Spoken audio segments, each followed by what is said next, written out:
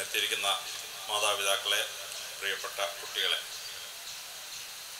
Police യൂണിവേഴ്സിറ്റിയെ പറ്റി അസംബ്ലിയിലുള്ള മൂന്നാൽ ചോദ്യങ്ങൾക്ക് മറുപടി എഴുതി കൊടുക്കാൻ വേണ്ടി മുഖ്യമന്ത്രി വിളിച്ചതനുസരിച്ച് ഞാൻ പോയതാണ്. പുറപ്പെട്ടിഞ്ഞെത്തിയപ്പോഴേക്കും താമസിച്ചു പോയി ക്ഷമിക്കണം വേദപുസ്തകത്തിൽ നല്ല കുടുംബത്തെ പറ്റിയും മക്കൾ നല്ലതാവുന്നതിനെയും ചീത്തയാവുന്നതിനെ പറ്റിയും കൃത്യമായി രേഖപ്പെടുത്തിയിട്ടുണ്ട്. ആദാവിന്റെ മക്കളുടെ കാര്യം പറയുമ്പോൾ ആബേൽ നല്ലവനായിരുന്നു. എന്നാൽ കായേൻ കൊലപാതകയായി മാറി എന്ന് കൃത്യമായി രേഖപ്പെടുത്തിയിരിക്കുന്നു. ഏലി എന്ന പട്ടക്കാരന്റെ മക്കൾ പട്ടക്കാരനായിരുന്നിട്ട് പോലും മക്കളെ നേരെ വളർത്താൻ പറ്റാത്തതിനാൽ അവരുടെ ദുർനടപ്പിനെ പറ്റി കേട്ടപ്പോൾ പുറകോട്ട് വീണ് കഴുത്തൊടിഞ്ഞ് മരിച്ച കാര്യം വേദപുസ്തകത്തിൽ രേഖപ്പെടുത്തിയിട്ടുണ്ട്. യാക്കോബിന്റെ മക്കളുടെ കാര്യം പറയുമ്പോൾ നല്ലവരായ മക്കൾ ആരായിരുന്നു? ഇളയ അരിഞ്ഞനെ കിണറ്റിലിട്ടിട്ട് അടിമയായി വിറ്റവരാരായിരുന്നു എന്ന് കൃത്യമായി രേഖപ്പെടുത്തിയിരിക്കുന്നു പന്ത്രണ്ട് ശിഷ്യന്മാരുടെ കഥ പറയുമ്പോൾ കർത്താവിന്റെ കൂടെ മൂന്ന് വർഷം നടന്ന ഒരു ശിഷ്യൻ തന്നെ മുപ്പത് വെള്ളിക്കാശിന് എങ്ങനെ ഒറ്റുകൊടുത്തു എന്ന് കൃത്യമായി വേദപുസ്തകം പറയുന്നു. എന്നാൽ യേശുക്രിസ്തുവിന്റെ വിദ്യാഭ്യാസത്തെ പറ്റിയോ അദ്ദേഹം ഏത് സ്കൂളിലോ കോളേജിലോ പഠിച്ചോ എന്നുള്ളതിനെ പറ്റി വേദപുസ്തകത്തിൽ റെക്കോർഡൊന്നുമില്ല പക്ഷെ രണ്ട് വാചകങ്ങൾ അത് കൃത്യമായി പറഞ്ഞിട്ടുണ്ട്. പൈതൽ വളർന്നു ജ്ഞാനം നിറഞ്ഞു മനുഷ്യന്റെയും ദൈവത്തിന്റെയും കൃപ അവന്റെ മേൽ ഉണ്ടായിരുന്നു എന്നുള്ളതാണ്. അപ്പോൾ നമ്മുടെ കുടുംബത്തിൽ മക്കൾ വളരുമ്പോൾ അവർ വളർന്ന് പ്രശസ്തരായി കുടുംബത്തിനും നാടിനുമൊക്കെ ഐശ്വര്യഭാചനങ്ങളാക്കി എങ്ങനെ അവരെ വളർത്തണം എന്നുള്ളത് വേദപുസ്തകത്തിൽ നമ്മൾ മനസ്സിലാക്കേണ്ടതാണ്. ആധുനിക ശാസ്ത്രം വളരെ കൃത്യമായി അത് നമ്മളെ മനസ്സിലാക്കുന്ന ഒന്നാണ്. വേദപുസ്തകത്തിൽ നിന്ന് മനസ്സിലാക്കുന്ന കാര്യങ്ങൾ ശാസ്ത്രത്തിന്റെ മാർഗത്തിലൂടെ നമ്മൾ അനാലൈസ് ചെയ്തെടുക്കുമ്പോൾ വളരെ കൃത്യമായി വേദപുസ്തകം പറയുന്നു ഗർഭത്തിൽ വെച്ച് തന്നെ കുട്ടികൾ സ്വാധീനിക്കപ്പെടുന്നു എന്നുള്ളതാണ്. എലിശോ പുണ്യതയെ കാണുന്നതിന് വേണ്ടി കന്യാസ്ത്രമറിയം പോയി. എലിശോ പുണ്യതയുടെ വയറ്റിലുണ്ടായിരുന്നു സ്നാപയോവനാൻ കന്യാശ്രമയുടെ വയറ്റിലുണ്ട് യേശു ക്രിസ്തു കന്യാശ്രമയുടെ വാക്ക് കേട്ടപ്പോൾ തന്നെ എലിശോ പുണ്യതി പറയുകയാണ് അവന്റെ ശബ്ദം എന്റെ കർണപുടങ്ങളിൽ പതിച്ചപ്പോൾ എന്റെ വയറ്റിൽ എന്റെ കുഞ്ഞ് തുള്ളിച്ചാടിയെന്നാണ് എക്സ്റ്റേണൽ സ്റ്റിമുലയുമായി വയറ്റിൽ കിടക്കുന്ന കുഞ്ഞിന് റിയാക്ട് ചെയ്യാൻ പറ്റും എന്ന് വേദപുസ്തകം കൃത്യമായി രേഖപ്പെടുത്തിയിരിക്കുകയാണ്. ഗർഭിണി കാണുന്ന സംഭവങ്ങൾ എങ്ങനെയാണ് ഗർഭത്തിലുള്ള കുഞ്ഞിനെ സ്വാധീനിക്കുന്നു എന്ന് വളരെ കൃത്യമായി ഉൽപ്പത്തി പുസ്തകം മുപ്പത്തി ഒമ്പതാം അധ്യായത്തിൽ രേഖപ്പെടുത്തിയിട്ടുണ്ട്. കറുപ്പും വെളുപ്പും നിറമുള്ള ആടുകൾക്ക് പാൽ കൂടുതലാണെന്ന് യാക്കോബ് കണ്ടു. എങ്ങനെ ആടുകൾക്ക് കറുപ്പും വെളുപ്പും ഉണ്ടാക്കാൻ പറ്റും? അന്ന് ഈ ഡി എൻ എ മോളിക്കോളൊന്നും കണ്ടുപിടിച്ചിട്ടില്ല. പക്ഷേ യാക്കോബ് ഒരു ക്രൂഡ് ടെക്നോളജി പ്രയോഗിച്ചു. ആടുകൾ കിടന്ന ആലയുടെ മുമ്പാകെ തൂണുകൾ നാട്ടി അത് കറുപ്പും വെളുപ്പും നിറത്തിൽ പെയിന്റ് ചെയ്തു. ആ നിറങ്ങൾ കണ്ടുകൊണ്ട് ഇണചേരുകയും ഗർഭകാലം കഴിച്ചുകൂട്ടുകയും ചെയ്തപ്പോൾ ജനിച്ച കുട്ടികൾക്ക് കറുപ്പും വെളുപ്പും നിറമുണ്ടാവുകയും യാക്കോബിന് ധാരാളം പാൽ കിട്ടുകയും ചെയ്തു എന്നാണ് ഉൽപ്പത്തി പുസ്തകം മുപ്പത്തൊമ്പത് മുപ്പത്തൊമ്പതാം അധ്യായത്തിൽ രേഖപ്പെടുത്തിയിട്ടുള്ളത്. നല്ല വെളുത്ത കുട്ടികൾ വേണമെങ്കിൽ സാഹിബിന്റെ ഫോട്ടോ കൊണ്ടുകൊണ്ട് കിടക്കണമെന്ന് മനസ്സിലാക്കുന്ന അപ്പോഴാണ്. നമ്മുടെ ക്രൈസ്തവ സഭയിൽ ഒരു ഒരു അലിഖിതമായ നിയമമുണ്ട്. ഒരു സ്ത്രീ ഗർഭിണിയാണെന്ന് മനസ്സിലായാൽ ആദ്യം ചെയ്യേണ്ടത് പള്ളിയിൽ ചെന്ന് കുമ്പസാരിച്ച് കുർബാനയൊക്കെ സ്വീകരിച്ച് വികാരി അച്ഛനോട് പറയും ഞാൻ ഗർഭിണിയാണെന്ന് അപ്പോൾ അച്ഛന്മാർ സാധാരണ ചെയ്യുന്നത് ഒരു ഉണ്ണി യേശുവിന്റെ ഫോട്ടോ എടുത്ത് കൊടുത്തിട്ട് ഗർഭിണി കിടക്കുന്ന മുറിയിൽ ഇത് വെച്ചുകൊണ്ട് ഗർഭകാലം അത് കണ്ടുകൊണ്ട് കഴിച്ചു കൂട്ടണമെന്ന് പറയും. അപ്പോൾ ഉണ്ണിയേശുവിന്റെ ഫോട്ടോ കണ്ടുകൊണ്ട് ഗർഭകാലം കഴിച്ചു കൂട്ടിയാൽ ഉണ്ണിയേശുവിനെ പോലൊരു കുഞ്ഞുണ്ടാവും എന്ന ക്രൈസ്തവ സഭയുടെ വിശ്വാസം വളരെ ശരിയാണെന്ന് ഇപ്പോൾ ശാസ്ത്രം തെളിയിച്ചിരിക്കുകയാണ്. ഗർഭകാലത്ത് അമ്മമാർ എന്ത് വായിക്കുന്നു എന്നുള്ളത് കുട്ടികളെ സ്വാധീനിക്കുന്നു എന്ന് ശാസ്ത്രം തെളിയിച്ചിരിക്കുന്നു. ജർമ്മനിയിലെ സ്ട്രാസ്ബർഗ് യൂണിവേഴ്സിറ്റിയുടെ പ്രസിദ്ധമായൊരു ഗവേഷണം. ഇരുന്നൂറ് ഗർഭിണികൾക്ക് ശാസ്ത്രജ്ഞന്മാരുടെ ജീവചരിത്രം വായിക്കാൻ കൊടുത്തു ഗർഭകാലത്ത്. ശാസ്ത്രജ്ഞന്മാരുടെ ജീവചരിത്രം വായിച്ചുകൊണ്ട് ഗർഭകാലം കഴിച്ചുകൂട്ടിയ സ്ത്രീകൾ പ്രസവിച്ച കുട്ടികളിൽ ഭൂരിപക്ഷവും. പ്രസവിച്ച കുട്ടികളിൽ നല്ലൊരു പങ്ക് ശാസ്ത്രജ്ഞന്മാരാവുകയും ശാസ്ത്ര വിഷയങ്ങളിൽ നല്ല മാർക്കുകൾ ലഭിക്കുകയും ചെയ്തു. ഇരുന്നൂറ് ഗർഭിണികൾക്ക് യുദ്ധവീരന്മാരുടെ ജീവചരിത്രം വായിക്കാൻ കൊടുത്തു. ജൂലിയസ് സീസറിന്റെയും ജംഗിസ് ഖാന്റെയും ഫെർണാണ്ട് ഗ്രേറ്റിന്റെയൊക്കെ ജീവചരിത്രം വായിക്കാൻ കൊടുത്തു. ആ ജീവചരിത്രങ്ങൾ ഗർഭകാലത്ത് വായിച്ച സ്ത്രീകൾ പ്രസവിച്ച കുട്ടികളിൽ ഭൂരിപക്ഷവും. പിൽക്കാലത്ത് പട്ടാളത്തിലും പോലീസിലും പോയി ചേർന്നു. അവർക്ക് ആ കാക്കയോടൊരു പ്രത്യേക സ്നേഹം വന്നു എന്നാണ് കണ്ടെത്തിയത്. ഇരുന്നൂറ് ഗർഭിണികൾ കൊടുത്തത് കത്തോലിക്കാസർ വിശുദ്ധന്മാരുടെ ജീവചരിത്രങ്ങളാണ്. കത്തോലിക്കാസർ വിശുദ്ധന്മാരുടെ ജീവചരിത്രം വായിച്ച ഗർഭിണികൾ പ്രസവിച്ച കുട്ടികളിൽ ഭൂരിപക്ഷവും പിൽക്കാലത്ത് അച്ഛന്മാരും കന്യാസ്ത്രമായി എന്നാണ് കണ്ടെത്തിയത്. നമ്മുടെ മക്കൾ ആരായിത്തീരണം നമുക്ക് ആഗ്രഹമുണ്ടോ? ആ രീതിയിലുള്ള മഹാന്മാരുടെ ജീവചരിത്രം ഗർഭിണികൾ ഗർഭകാലത്ത് വായിക്കണമെന്ന് ശാസ്ത്രജ്ഞന്മാർ. ഗർഭമുള്ള സമയത്ത് അമ്മമാർ പഠിച്ചാൽ കുട്ടികൾക്ക് അസാധാരണമായ ബുദ്ധിശക്തിയും വളരെ ഉയർച്ചയും ഉണ്ടാവുമെന്ന് ശാസ്ത്രം കണ്ടെത്തിയിരിക്കുന്നു. ഗർഭിണികൾ പഠിച്ചാൽ അവരുടെ തലച്ചോറിനകത്ത് ഇന്റലക്ച്വൽ വർക്കിന് വേണ്ടി ശരീരം ചില ഹോർമോൺസ് എൻസൈംസ് ഒക്കെ പ്രൊഡ്യൂസ് ചെയ്യും. അത് അമ്മയുടെ തലച്ചോറിൽ കയറി ഇറങ്ങി വന്ന ശേഷം ഗർഭത്തിലുള്ള കുട്ടിയുടെ തലച്ചോറിലൂടെ കയറി ഇറങ്ങും. അതുകൊണ്ടാണ് ഗർഭകാലത്ത് പഠിച്ച സ്ത്രീകളുടെ കുട്ടികൾ പഠിക്കാൻ വളരെ മിടുക്കന്മാരായി തീരുന്നത് അപ്പോൾ നല്ല മിടുക്കരായ കുട്ടികൾ ഉണ്ടാവണമെന്നൊരു സ്ത്രീക്ക് ആഗ്രഹമുണ്ടെങ്കിൽ ഗർഭിണിയായി കഴിഞ്ഞാൽ പോയി നല്ലൊരു കമ്പ്യൂട്ടർ കോഴ്സിന് ചേരണം. തകൃതിയായി അടിച്ച് പറത്തി അങ്ങ് പഠിക്കണം. പ്രസവിച്ചു കഴിഞ്ഞാൽ പരീക്ഷ എഴുതിയില്ലെങ്കിലും കുഴപ്പമൊന്നുമില്ല. പക്ഷേ ഗർഭകാലത്ത് ഭംഗിയായിട്ട് പഠിച്ചാൽ ആ കുട്ടി പഠിക്കാൻ വളരെ മിടുക്കനോ മിടുക്കിയോ ആയ ഒരു കുട്ടിയായി തീരുകയും നിങ്ങൾ ഉദ്ദേശിക്കുന്ന രീതിയിൽ വലിയ നിലകളിൽ എത്തിച്ചേരുകയും ചെയ്യും. ഈ പുസ്തകം വായിച്ചപ്പോഴാണ് എനിക്കൊരു കാര്യം മനസ്സിലായത്. ഞാൻ ഗർഭത്തിൽ കിടന്ന പത്ത് മാസവും എന്റെ അമ്മ ടീച്ചേഴ്സ് ട്രെയിനിങ്ങിന് പഠിക്കാൻ പോയിരുന്നു. അമ്മ പത്ത് മാസവും തകൃതിയായി പഠിച്ച കാലത്താണ് ഞാൻ വയറ്റി കിടന്നത്. ഞാൻ ഏഴ് ഡിഗ്രി പാസ്സാവാൻ പറ്റിയതും ഐ എ എസ് പരീക്ഷ പാസ്സാവാൻ പറ്റിയതും ഒക്കെ ഞാൻ വയറ്റി കിടന്നാൽ കാലത്ത് അമ്മ പഠിച്ചതാണെന്ന് ഈ പുസ്തകങ്ങൾ വായിച്ചപ്പോഴാണ് മനസ്സിലായത്. ഗർഭകാലത്ത് പുണ്യാത്മാക്കളെ പറ്റി പഠിക്കുകയും വേദപുസ്തകം വായിക്കുകയും യേശുക്രിസ്തുവിന്റെ സുവിശേഷം വായിക്കുകയൊക്കെ ചെയ്താൽ ഗർഭത്തിൽ കിടക്കുന്ന കുട്ടി വളരെ നല്ല സ്വഭാവമുള്ള ഒരു കുട്ടിയായി തീരുമെന്ന് ശാസ്ത്രജ്ഞന്മാർ. പല സ്ത്രീകളും ഇപ്പോൾ ഇങ്ങനെയല്ല. ഗർഭിണിയായി കഴിഞ്ഞാൽ എന്റെ അമ്മ വയ്യെന്ന് പറഞ്ഞു ചാരികസേര കയറി കിടന്ന. സ്റ്റണ്ട് ചിത്രങ്ങൾ ഇട്ടുകൊണ്ട് കിടക്കും. അതിനകത്ത് മമ്മൂട്ടിയും മോഹൻലാൽ തമ്മിൽ അടി വെടിയോ പെണ്ണിനെ തട്ടിക്കൊണ്ട് പോകലൊക്കെയാണ്. ഗർഭകാലത്ത് ഇങ്ങനെയുള്ള സ്റ്റണ്ട് ചിത്രങ്ങൾ കണ്ടാൽ നിങ്ങളുടെ കുഞ്ഞുങ്ങൾ ഗുണ്ടുകളും റൗഡികളും ആവാനുള്ള സാധ്യത വർദ്ധിക്കുന്നുവെന്നാണ് ശാസ്ത്രജ്ഞന്മാരുടെ അഭിപ്രായം. നമ്മൾക്കൊരു കുട്ടി ജനിച്ചു കഴിഞ്ഞാൽ ആ കുട്ടിക്ക് ബുദ്ധിശക്തി വർദ്ധിപ്പിക്കാൻ നമുക്ക് എത്ര വയസ്സ് വരെയാണ് സമയം ദൈവം തന്നിരിക്കുന്നത്? ശാസ്ത്രജ്ഞന്മാർ പറയുന്നു പന്ത്രണ്ട് വയസ്സ് വരെ ഏഴാം ക്ലാസ്സിൽ പഠിക്കുന്നത് വരെ. ഒരു കുട്ടി ജനിക്കുമ്പോൾ അവന്റെ തലയോട്ടി ഒരു ടേപ്പ് വെച്ച് അളന്നാൽ മുപ്പത് മുതൽ മുപ്പത്തിമൂന്ന് സെന്റിമീറ്റർ ആയിരിക്കും. കുട്ടിക്ക് ഒരു മൂന്ന് വയസ്സാകുമ്പോൾ വീണ്ടും തലയോട്ടി അളന്നാൽ മുപ്പത്താറ് മുതൽ മുപ്പത്തൊമ്പത് സെന്റിമീറ്റർ വെച്ചിട്ടുള്ളതായിരിക്കും കുട്ടിക്ക് ഒരു ഏഴ് വയസ്സാകുമ്പോൾ വീണ്ടും തലയോട്ടി അളന്നാൽ അത് നാൽപ്പത്താറ് മുതൽ നാൽപ്പത്തൊമ്പത് സെന്റിമീറ്റർ ആയിരിക്കും. കുട്ടിക്ക് പന്ത്രണ്ട് വയസ്സാവുമ്പോൾ കുട്ടിയുടെ തലയോട്ടി വീണ്ടും അളന്നാൽ അതിന്റെ സക്കംഫറൻസ് അൻപത്തൊന്ന് മുതൽ അൻപത്തഞ്ച് സെന്റിമീറ്റർ ആയിരിക്കും. പിന്നെ തലച്ചോർ വളരുകയില്ല. ബുദ്ധിശക്തി വളരുകയില്ല. തലയോട്ടി ഉണ്ടാക്കപ്പെട്ടിട്ടുള്ള എട്ട് ക്രേനിയൽ ബോൺസ് കോൺക്രീറ്റ് സെറ്റ് ചെയ്യുന്ന പോലെ അങ്ങ് സെറ്റ് ചെയ്യും. പിന്നെ ആ മനുഷ്യന്റെ നൂറ്റി പന്ത്രണ്ടാമത്തെ വയസ്സിൽ എന്റെ തലയോട്ടി അളന്നാൽ പന്ത്രണ്ട് വയസ്സിൽ എത്ര ഉണ്ടായിരുന്നു അത്രയും മാത്രമേ ഉണ്ടാവുള്ളൂ.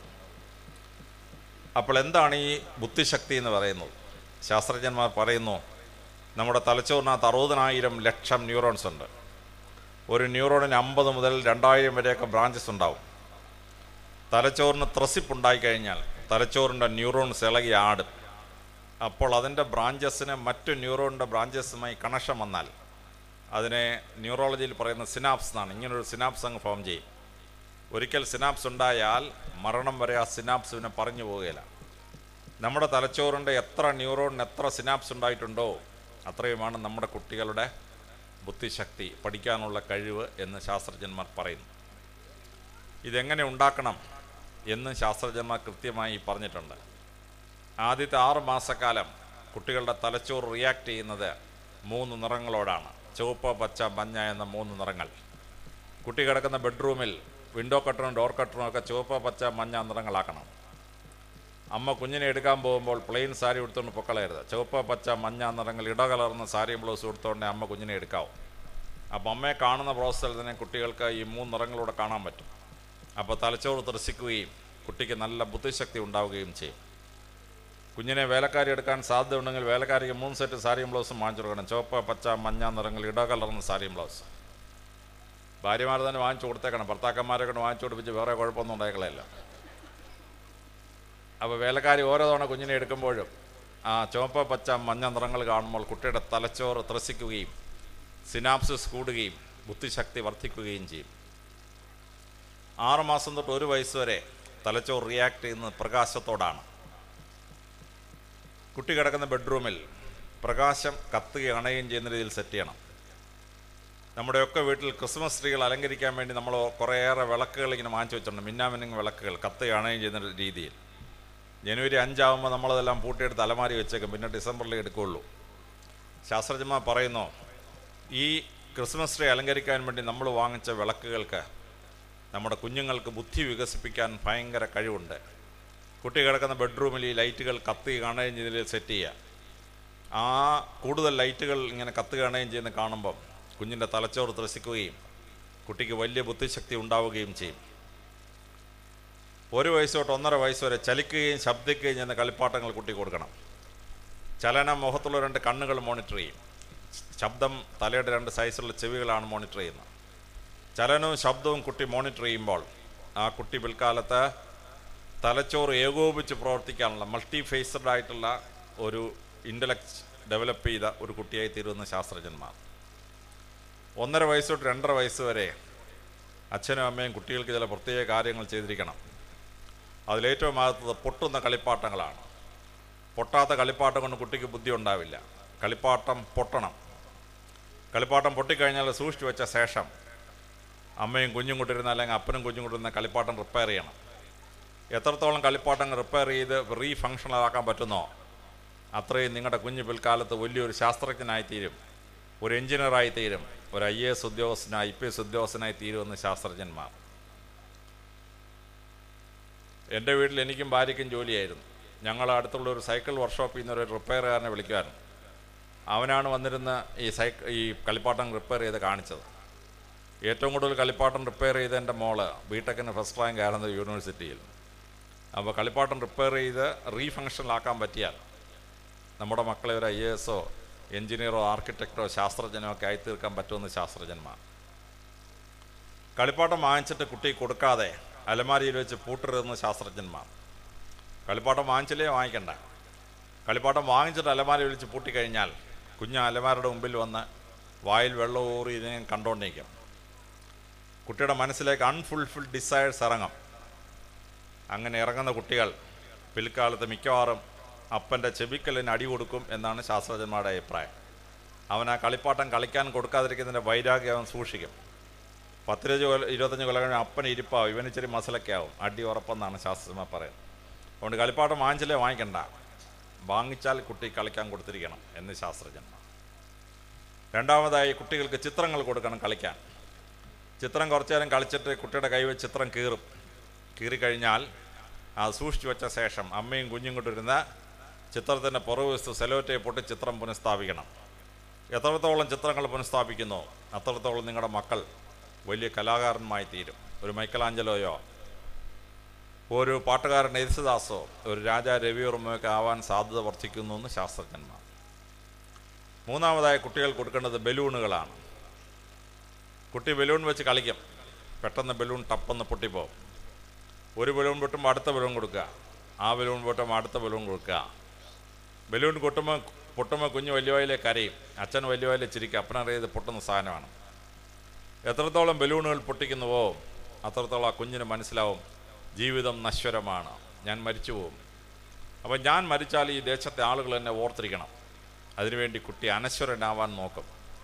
ഇംഗ്ലീഷിൽ പറയും fame is the last infirmity of noble souls എന്ന്. മഹാന്മാരുടെ ഒരു വീക്ക്നെസ് ആണ് പ്രശസ്തി. അങ്ങനെ അവൻ പ്രശസ്തനായി. അവൻ മരിച്ചാലും ഈ ലോകം ഓർത്തിരിക്കുന്ന ഒരു വ്യക്തിയായി തീരും ചില കുട്ടികൾക്ക് മനസ്സിലാവും ശരീരം നശ്വരമാണ് പക്ഷെ ആത്മാവ് അനശ്വരമാണ്.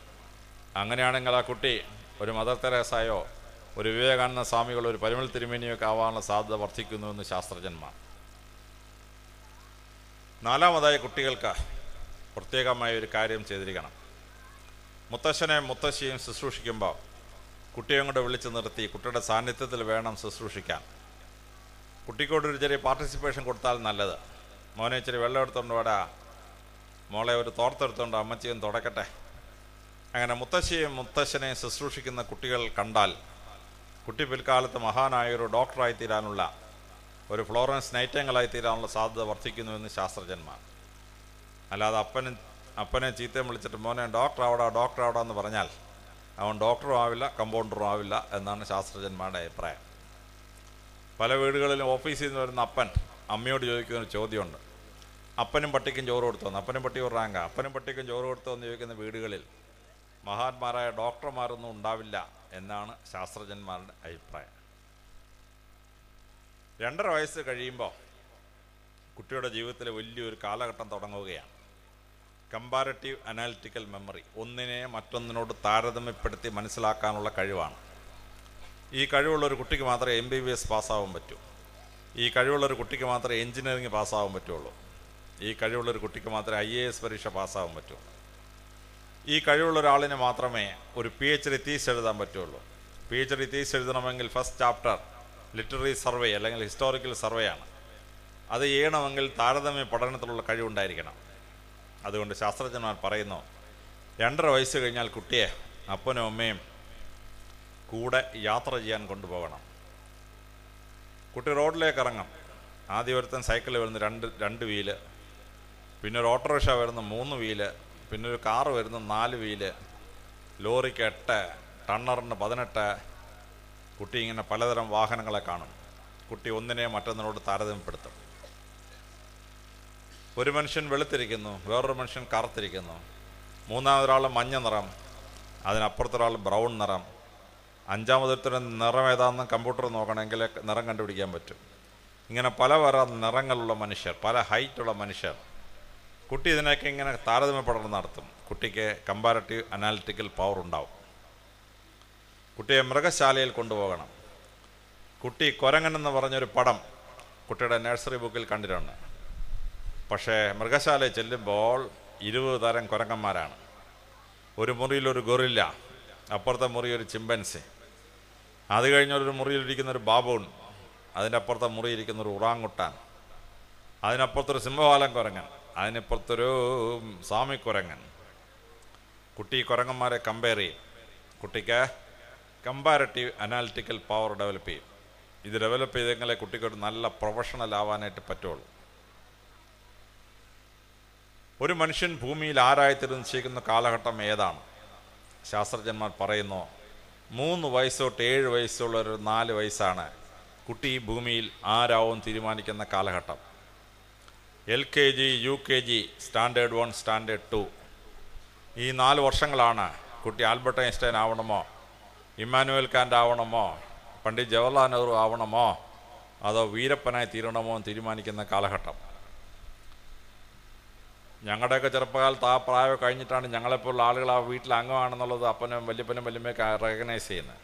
ഇപ്പോൾ അതല്ല L K G U K G standard one standard two. നാല് വർഷങ്ങൾ കുട്ടി ആരായി തിരഞ്ഞെടുക്കുന്ന വർഷങ്ങളാണ്. ആ സമയത്ത് കുട്ടിയെ വളരെ പ്രത്യേകം ശ്രദ്ധിച്ചിരിക്കേണ്ടതാണ്. എന്നാൽ മഗ്രൂവൽ കമ്പനി ഇരുപതിനായിരം മഹാന്മാരുടെ ജീവചരിത്രം എടുത്ത് ഒരു പുസ്തകം എഴുതി. Encyclopedia of biographies. ആ ഇരുപതിനായിരം പേരെ പഠിച്ചപ്പോൾ അവർക്കൊരു കാര്യം മനസ്സിലായി. ലോകത്തിൽ മഹാന്മാരായ ഇരുപതിനായിരം പേരിൽ പതിനയ്യായിരം പേരും മൂന്ന് വയസ്സ് തൊട്ട് എട്ട് വയസ്സ് വരെ മുത്തശ്ശി മുത്തശ്ശനും വളർത്തിയ കുട്ടികളാണ്. അപ്പനമ്മയും വളർത്തിയ കുട്ടികളല്ല. സോക്രട്ടീസ് മൂന്ന് വയസ്സായപ്പോഴേ അപ്പം മരിച്ചുപോയി. മുത്തശ്ശി കൊണ്ട് വളർത്തിയ.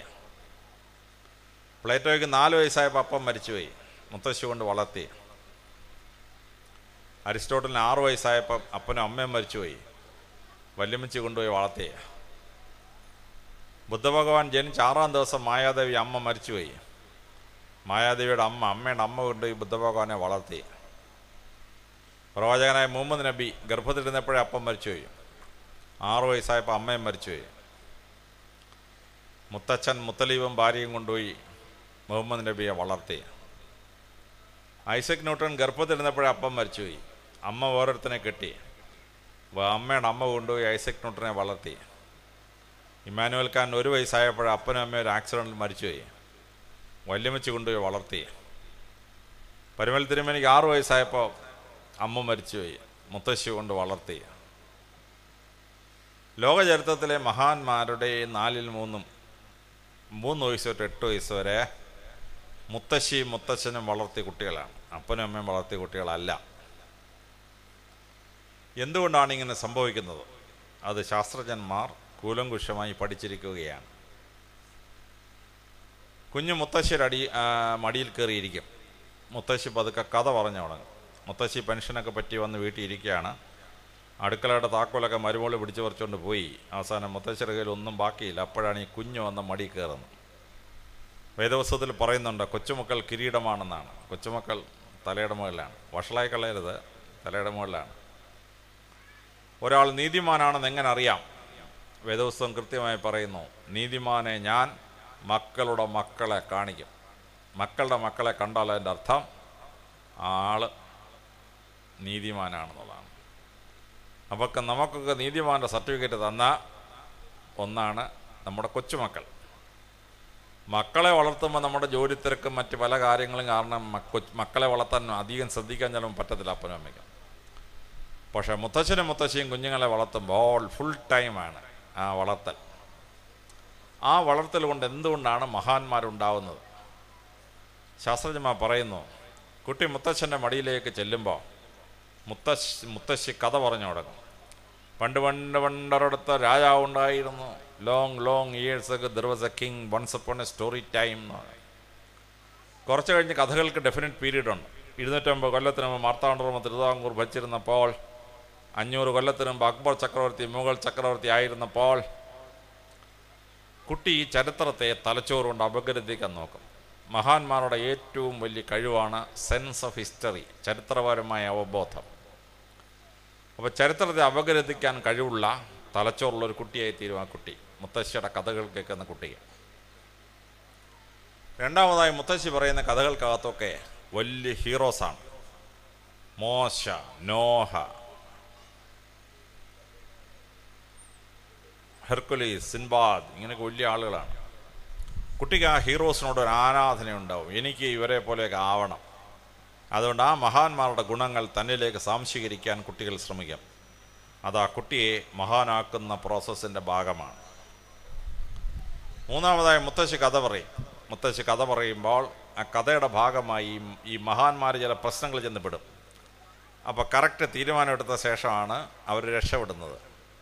അപ്പോൾ ഈ മഹാന്മാരുടെ പ്രോബ്ലം സോൾവിങ് കേട്ട് പഠിക്കുന്ന കുട്ടിക്ക് ഡിസിഷൻ മേക്കിങ്ങിനുള്ള കഴിവുണ്ടാവും. തീരുമാനമെടുക്കാനുള്ള കഴിവുണ്ടാവും. മാനേജ്മെന്റ് കപ്പാസിറ്റി ഉണ്ടാവും. നാലാമതായി മുത്തശ്ശിയുടെ കഥ പറയുന്ന കുട്ടികൾക്ക് ഭാഷാജ്ഞാനം കിട്ടും. അറുപത്തഞ്ച് വയസ്സുകൊണ്ട് വല്യമ്മച്ചി നേടിയ ഭാഷാപരമായ അറിവ് വാക്കുകളുടെ കഴിവ് ഇത് കുട്ടിയിലേക്ക് സംക്രമിക്കും. ഒമ്പതിനായിരത്തി അഞ്ഞൂറ് വാക്ക് മാസ്റ്റർ ചെയ്തെങ്കിലും ഒരു കുട്ടിക്ക് നല്ല ലേഖനം എഴുതാൻ പറ്റുള്ളൂ.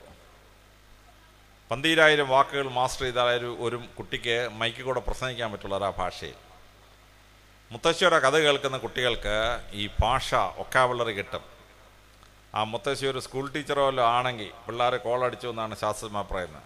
പഠിപ്പിക്കാനുള്ള കഴിവും കൂടി ആ കഥയ്ക്കകത്തോട്ട് വരും. അപ്പോൾ ഭാഷാജ്ഞാനം വളരെ നന്നായി ഉണ്ടാവും. അഞ്ചാമതായി കുട്ടികൾ മുത്തശ്ശന്റെ മടിയിൽ ചെല്ലും. മുത്തശ്ശൻ പതുക്കെ കഥ പറഞ്ഞു കൊടുക്കും എനിക്ക് പന്ത്രണ്ട് വയസ്സുള്ളപ്പം ഞാനും എന്റെ മുത്തപ്പനും കൂടെ പമ്പയാറ്റി പോയ മോനെ. അവിടെ പോയൊരു മുതലെ പിടിച്ചടാ ഞങ്ങൾ കാലും കൈയുമെല്ലാം കെട്ടി കൊണ്ടുവന്നു.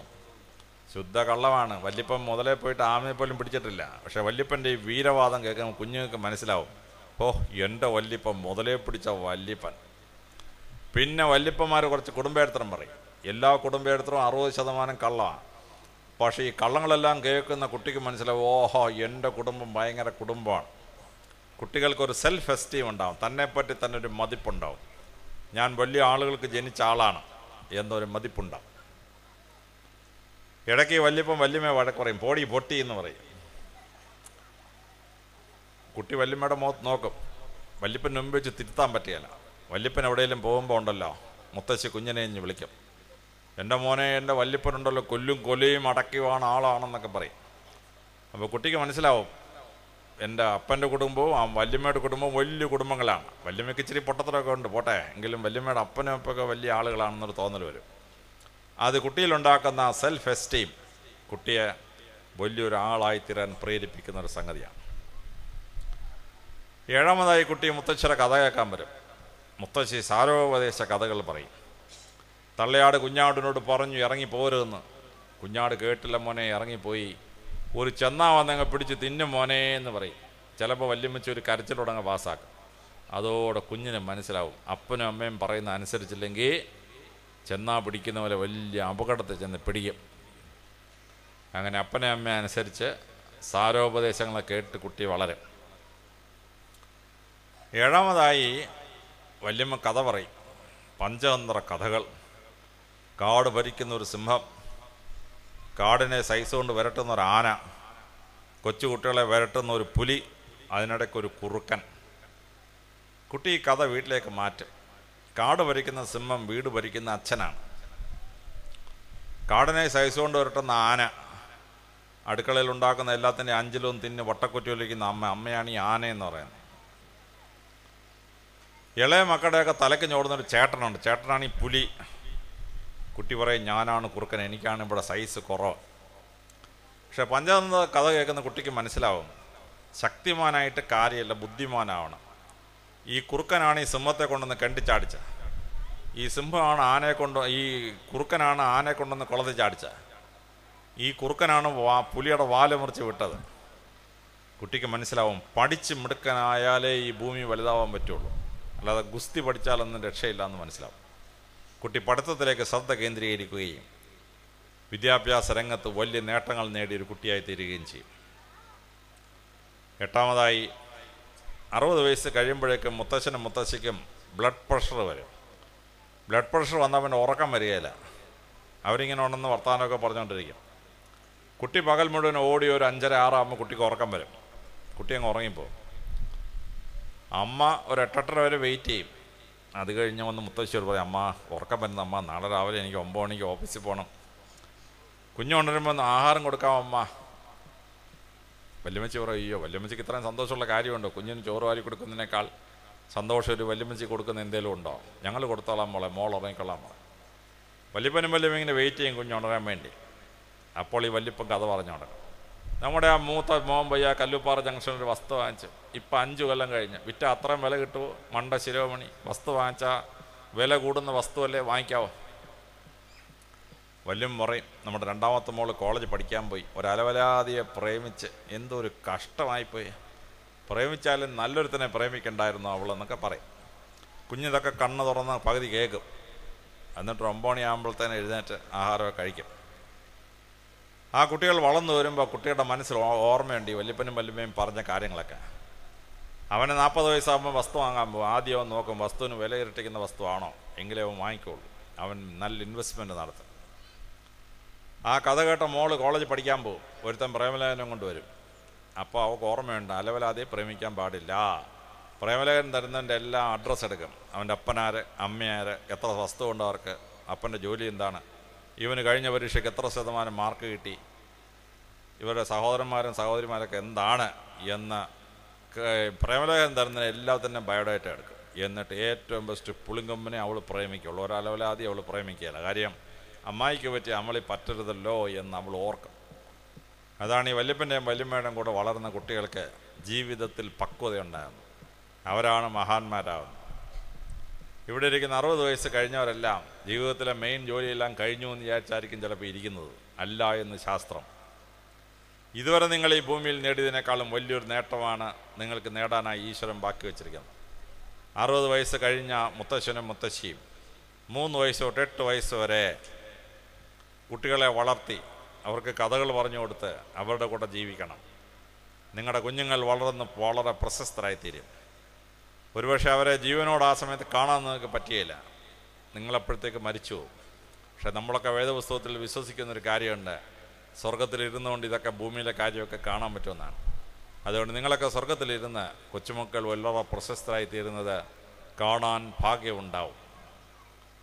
കൊച്ചുമക്കളെ മുത്തശ്ശനും മുത്തശ്ശിയും കെട്ടിപ്പിടിച്ച് കിടന്ന് ഉറങ്ങിയാൽ വീടിന്റെ മെഡിക്കൽ ബില്ല് കുറയുമെന്ന് ശാസ്ത്രജ്ഞന്മാർ.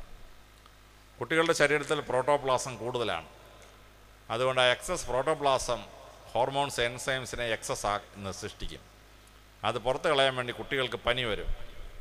ജലദോഷം വരും. അങ്ങനെ മൂക്കളയായും കഫമായും വേർപ്പായിട്ടും വേണം അത് പുറത്ത് കളയാൻ. കുട്ടിയുടെ ശരീരം പ്രോട്ടോപ്ലാസം ചൂടാക്കും. ചൂട് പോകാൻ വേണ്ടി കുട്ടി വേർക്കും.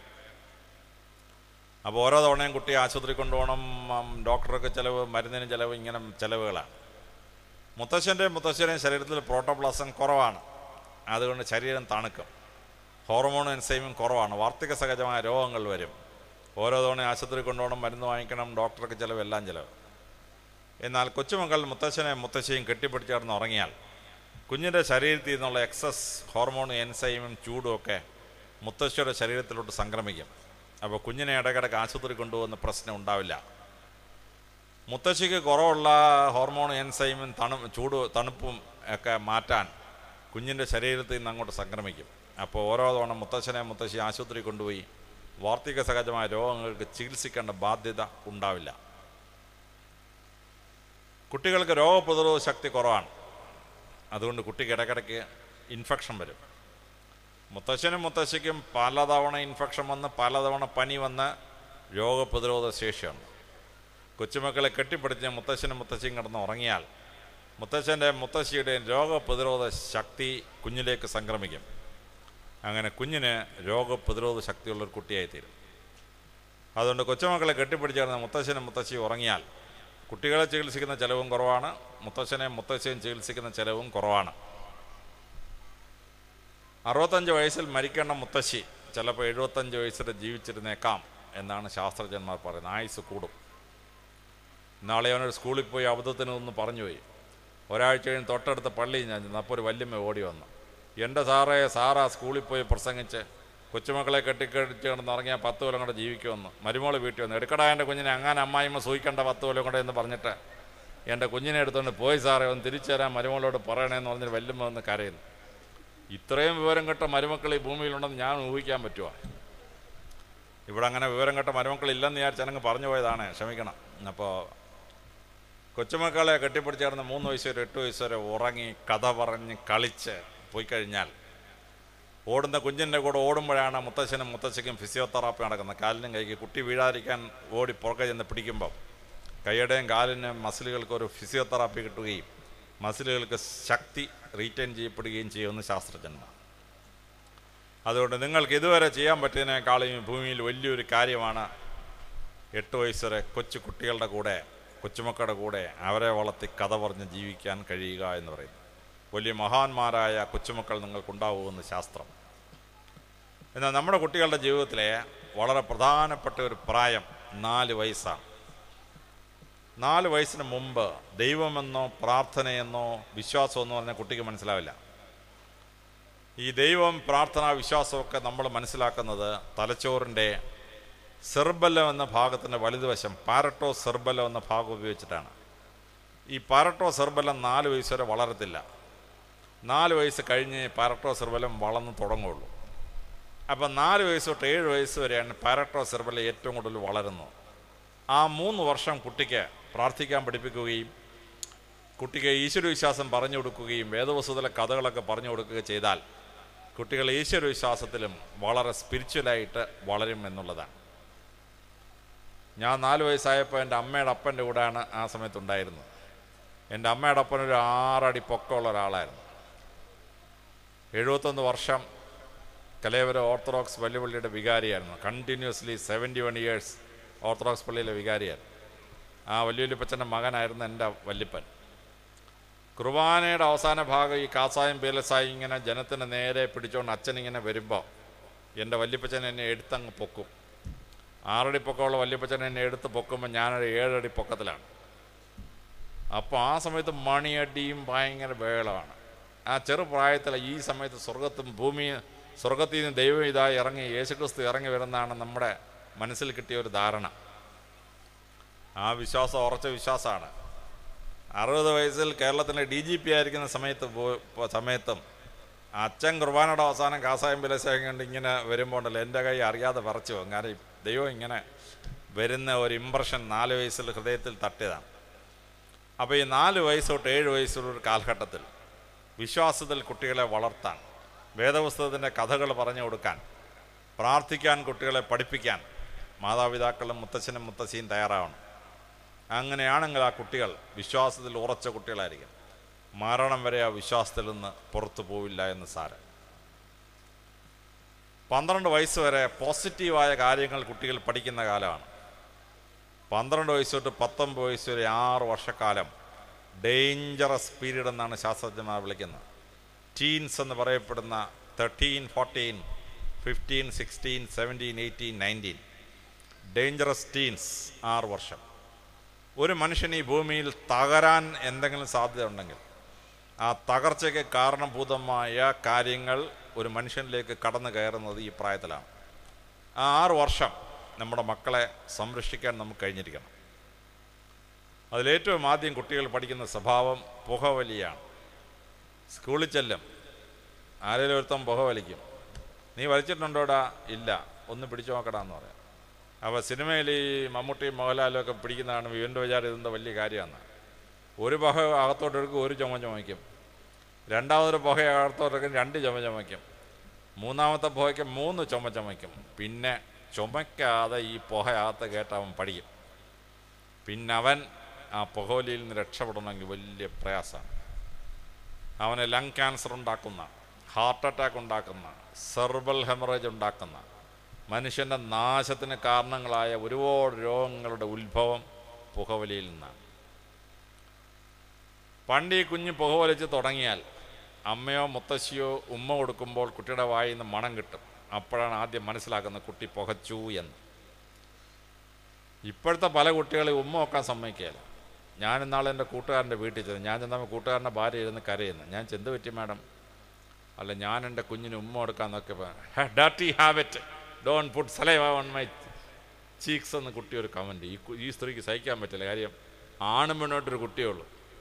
ആ കുട്ടിക്ക് ഒരു ഉമ്മ കൊടുക്കാൻ പോയതാണ് ഡേർട്ടി ഹാബിറ്റ് അമ്മയുടെ തുപ്പലൊന്നും എന്റെ മോതക്കെട്ട് പെരട്ടെന്ന് പറഞ്ഞാൽ ഏതമ്മയ്ക്ക് സഹിക്കാൻ പറ്റും? ഞാൻ പിന്നെ അരമണിക്കൂർ മെനക്കെട്ട ആ സ്ത്രീയെ പറഞ്ഞ് കാര്യങ്ങളൊക്കെ മനസ്സിലാക്കി.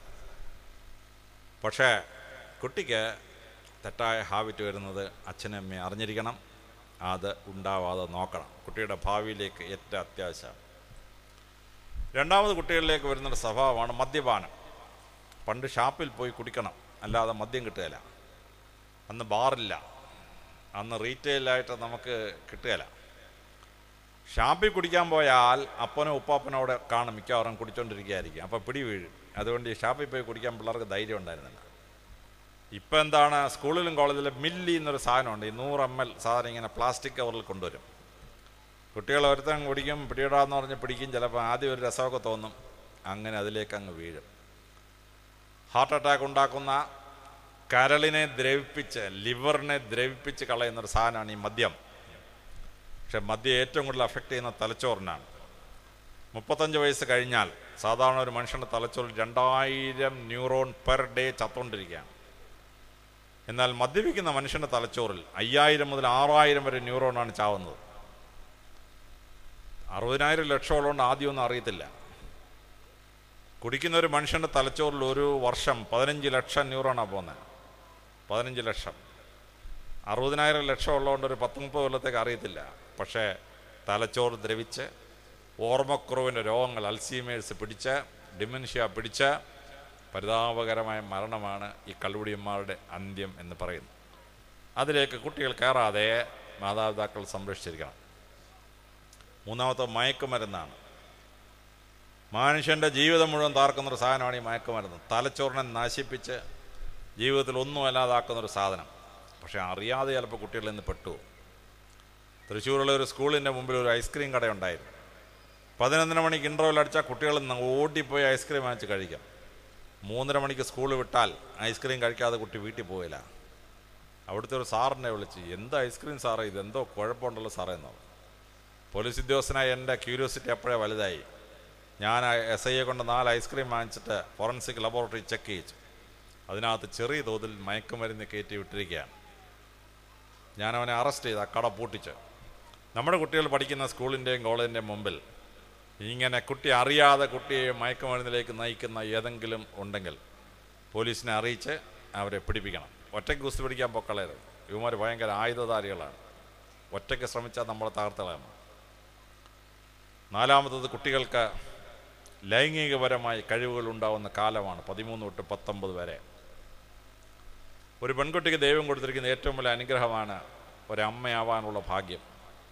അതിനാ കുട്ടിയുടെ ഗർഭപാത്രം വളരണം. ആ കുട്ടിക്ക് മച്യൂരിറ്റി ഉണ്ടാവണം പീരീഡ്സ് ഉണ്ടാവണം. പക്ഷെ ഇതുണ്ടാവുമ്പോൾ ഇതെന്താണെന്ന് കുട്ടിക്ക് പറഞ്ഞു കൊടുക്കാൻ അമ്മയോ എൽഡറായ ഏതെങ്കിലും പെൺകുട്ടിയോ സ്ത്രീയോ അവിടെ ഇല്ലെങ്കിൽ കുട്ടി അപകടകരമായ പരീക്ഷണങ്ങൾക്ക് പോവുകയും വല്ലാത്ത അപകടങ്ങളിൽ ചെന്ന് പെടുകയും ചെയ്യും എന്നുള്ളതാണ്. ആൺകുട്ടിയുടെ ലിംഗം വളർന്നു രോമം വളർന്ന് കുട്ടി അച്ഛനാവാൻ തയ്യാറെടുക്കുകയാണ്. ആ കുട്ടിക്ക് അതെന്താണെന്ന് പറഞ്ഞു കൊടുക്കാൻ ആളില്ലെങ്കിൽ കുട്ടി അപകടകരമായ സംഗതിയിലേക്ക് ചെന്നപ്പെടും. അതുണ്ടാവാതിരിക്കാൻ ഇടവകയിലെ കമ്മിറ്റിയും സ്കൂളിലെ ടീച്ചേഴ്സും ഒക്കെ കൂടി ഒത്തുനിന്ന് അത് പറഞ്ഞ് പഠിപ്പിച്ചിരിക്കണം. ഒരു ദിവസം തൃശ്ശൂർ ഓഫീസിലേക്ക് ഒരു ഡി വൈ എസ് പി വന്നു. എന്റെ ഓഫീസിൽ വന്ന് പൊട്ടിയും കരഞ്ഞു. എന്റെ സാറേ എന്റെ മോൻ പോയി സാറേ. ഞാൻ ചിന്ത സാറേ എന്റെ മോൻ ഒമ്പതാം ക്ലാസ് വരെ സ്കൂൾ ഫസ്റ്റ് ആയിരുന്നു. കഴിഞ്ഞ മൂന്ന് മാസമായിട്ട് അവൻ പഠിക്കത്തില്ല. ടീച്ചേഴ്സിനെ കണ്ണിൽ നോക്കുന്നില്ല. എന്തോ പറ്റി സാറേ എന്ന്. ഞാൻ വണ്ടിയെടുത്ത സ്കൂളിൽ പോയി. ക്ലാസ് ടീച്ചറോട് ചോദിച്ചു ഈ കുട്ടിയിൽ എന്തെങ്കിലും പ്രത്യേകത കാണുന്നുണ്ടോ? ക്ലാസ് ടീച്ചർ പറഞ്ഞു സാറേ കഴിഞ്ഞ കൊല്ലം വരെ ഈ സ്കൂളിൽ ഏറ്റവും മിടുക്കനായ കുട്ടിയാണ്. പക്ഷെ രണ്ടു മൂന്ന് മാസമായിട്ട് അവൻ പഠിക്കത്തില്ല പരീക്ഷ എഴുതത്തില്ല. ഞാൻ അവിടുത്തെ പ്രിൻസിപ്പൽ അച്ഛനോട് പറഞ്ഞു അച്ചോ ക്ലാസ് ടീച്ചർ എന്റെ കൂടെ ആ വീട്ടിലോട്ടൊന്ന് വിടുമെന്ന് ചോദിച്ചു.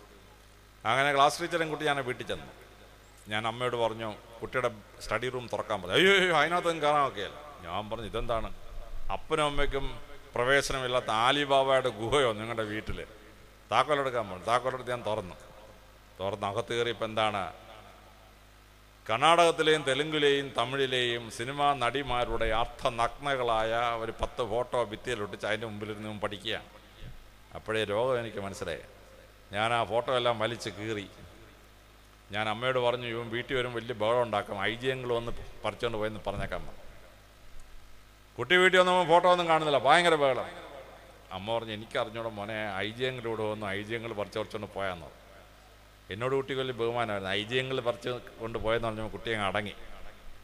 പക്ഷെ കുട്ടി പഠിത്തത്തിലേക്ക് തിരിച്ചു വന്നു. അവന് പത്തിലും പന്ത്രണ്ടിലും നല്ല മാർക്ക് കിട്ടി. അവൻ എം ബി ബി എസിന് അഡ്മിഷൻ കിട്ടി.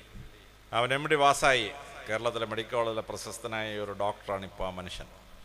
ഒരുപക്ഷെ അന്ന് ആ ഫോട്ടോ ഞാൻ വലിച്ചു കീറിയില്ലായിരുന്നെങ്കിൽ അവൻ ജീവിതത്തിൽ ഒന്നും അല്ലാതായി പോകുമായിരുന്നു. ലൈംഗികത ഉണരുമ്പോൾ ദൈവം കൊടുത്ത അനുഗ്രഹത്തെ മനസ്സിലാക്കാൻ നമ്മുടെ മക്കളെ നമ്മൾ തയ്യാറാക്കണം.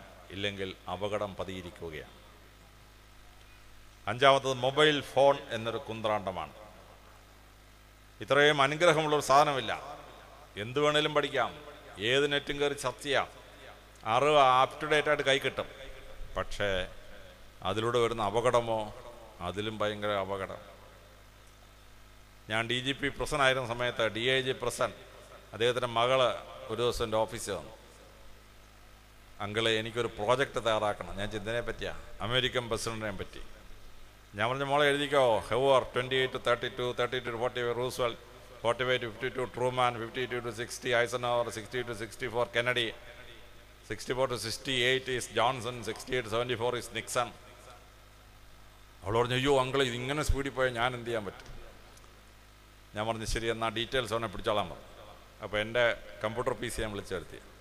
ഇവിടെ വൈറ്റ് ഹൗസ് ഡോട്ട് കോം എന്ന് അടിച്ചിട്ട് അതിന് അൺലോഡ് ചെയ്യാൻ പറഞ്ഞു. അമേരിക്കൻ പ്രസിഡന്റ് താമസിക്കുന്ന വൈറ്റ് ഹൗസിലായതുകൊണ്ട് വൈറ്റ് ഹൗസ് ഡോട്ട് കോം എന്ന് അടിച്ചു. അവൻ അടിക്കുകയും മുണ്ടില്ലാത്ത കുറേ പെണ്ണുങ്ങളുടെ പടം മുൻവശവും പുറകുവശവും ഇങ്ങനെ മാറി മാറി വീഴുകയാണ്. ഞാനങ്ങ് അന്താളിച്ച് പോയി. പെൺകുട്ടി അവിടെ നിൽക്കുന്നു അവളുടെ അപ്പം നിൽക്കുന്നു ഞാനുണ്ട് പോലീസുകാരനുണ്ട്. ഇവിടെ അടക്കട എന്ന് പറഞ്ഞാൽ പോലീസ് കമ്പ്യൂട്ടർ പി സി ഒരു വിധത്തിൽ അടച്ചപ്പോഴത്തേന്. പതിനാറ് പടങ്ങൾ വന്നു കഴിഞ്ഞിരുന്നു. കാര്യം അമേരിക്കൻ പ്രസിഡന്റുമാരുടെ വിവരം കിട്ടണമെങ്കിൽ American presidents dot white house dot com എന്ന് അടിച്ചാലേ കിട്ടുള്ളൂ. വെറും വൈറ്റ് ഹൗസ് ഡോട്ട് കോം അടിച്ചാൽ അത് പോർണോഗ്രാഫിക് സൈറ്റാണ്. ഞാൻ അപ്പോൾ തന്നെ ഡി ജി പി വിവരം അറിയിച്ച് ആ സൈറ്റ് ക്ലോസ് ചെയ്തു. ഇന്ന് രാത്രി പോയി തുറന്നു നോക്കിയാൽ ഒന്നും കാണാൻ പറ്റിയല്ല അന്ന് തന്നെ ഞാനത് ക്ലോസ് ചെയ്യിച്ചു ഇനി ആരും നോക്കാതിരിക്കാൻ വേണ്ടി. അപ്പോൾ നമ്മുടെ മക്കൾ നല്ല മൊബൈലാണ്. കുട്ടി ഇങ്ങനെ അഴിച്ചു നോക്കുമ്പോഴായിരിക്കും ചിലപ്പോൾ മുണ്ടില്ലാത്ത ഫോട്ടോ എല്ലാം കണ്ട് വന്ന് ചാടുന്നത്. പിള്ളേർ വഷളാവാൻ വേറെ വല്ലതും വേണോ? ഒന്നും വേണ്ട.